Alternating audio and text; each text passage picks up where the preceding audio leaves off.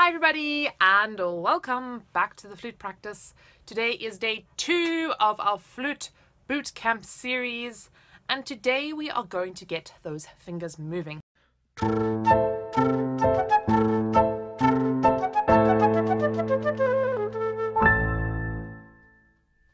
I often find that sometimes also once again when I'm getting back into like my routine and my playing it's so overwhelming to deal with specific technical aspects or even to like do pieces or studies or any of those things.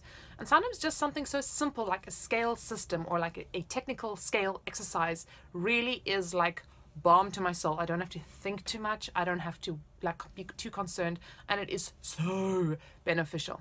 So today we are going to start off with one of my really uh, kind of like favorite exercises. I I think just because out of all of them, maybe it's I know it the best, but I do, I do find it's like relatively simple. It's just really good old scales and arpeggios. We are going to be doing Reichert exercise number one today. If you are at the beginning stages of this, I want you to take this exercise and really like appropriate it to what you can do. So choose the keys from this exercise that are easy enough to do.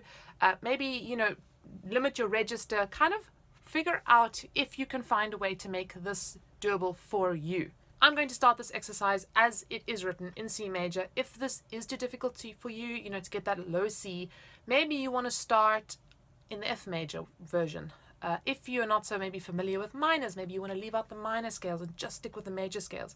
Really, you've got to be creative here in terms of what you are able to do.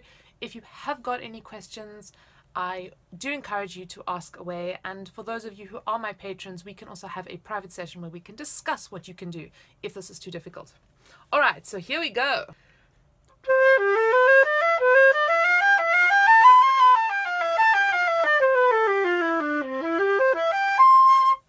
If you can do it in one breath, that is great. That's a challenge I would like to make to those of you who are slightly more advanced.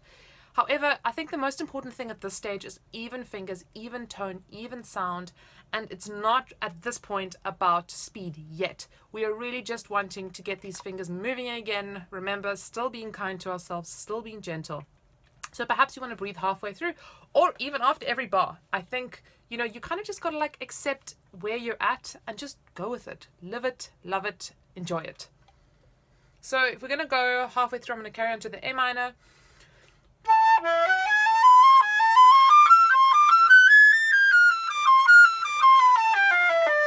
Maybe you want to breathe here.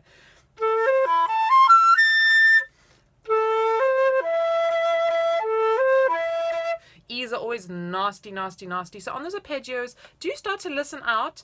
Oh, are you know, are those intervals really all nice and even, or are there like cracked notes or weak notes in that? We are going to be activating our ears super big time over time in the next couple of weeks, this you are going to discover is the most important friend that you have in this practice journey. So we're carrying on and carrying on.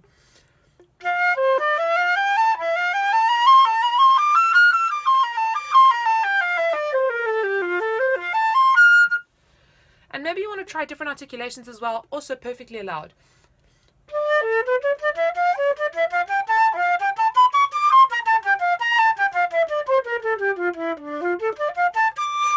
Know, maybe stick to the same articulation the whole way through. Probably a good idea.